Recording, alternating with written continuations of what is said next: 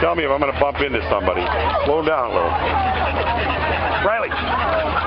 Okay, bye-bye.